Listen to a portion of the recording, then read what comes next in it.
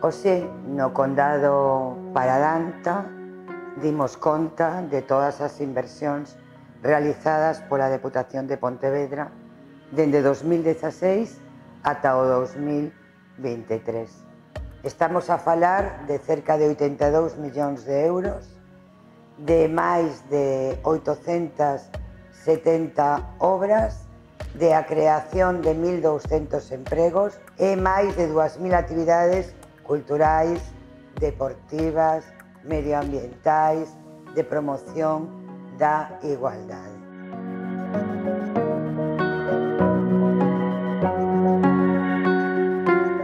Somos a administración que fixo as grandes transformacións en todos os concellos do Condado para Danta.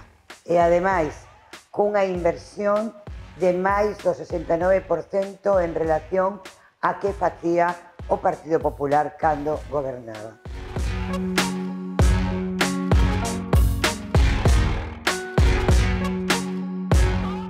Todas as grandes obras de equipamentos, de dotacións, de recuperación do espacio público, de cambios transcendentais nos concellos do Condado Paradanta levan o nome da Deputación de Pontevedra.